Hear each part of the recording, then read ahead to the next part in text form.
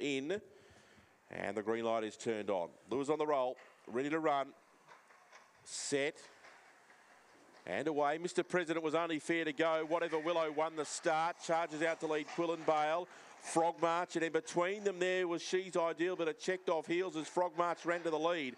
Further back in the field, we had Meso Dreaming. A long way back, Aintree Rambler. Mr. President was second last, and Oscar Intention was last. Leader was Frog March, but Quillen Bale's got the inside. They've charged away on Will, Whatever Willow and Meso Dreaming. Quillen Bale took the inside running, took the lead, and darted away to win.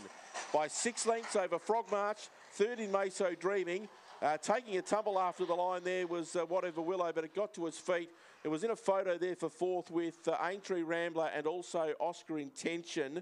Uh, next in the field was Mr. President, who was never really in the call with uh, She's Ideal, and it's 30.01 the gallop.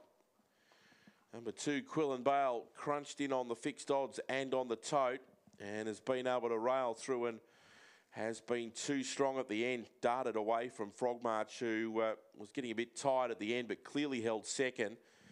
Fives run third, Meso Dreaming, and whatever Willow has run fourth here, number four. Did uh, take a tumble about 50 metres after the uh, the finish. Just got tangled up with uh, a couple of runners there after the line, but has run fourth and did make it into the pen safely. So it's two, six, five, and three.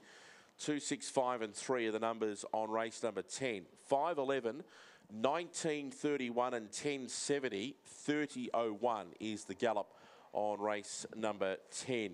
Number two, Quillen Bale for Corey Grenfell's by Feral Frankie out of Quail Bale. It's win number two from seven starts. Six second, Frog March. Aston DB out of Fagacious for Susan Dalton and third in two.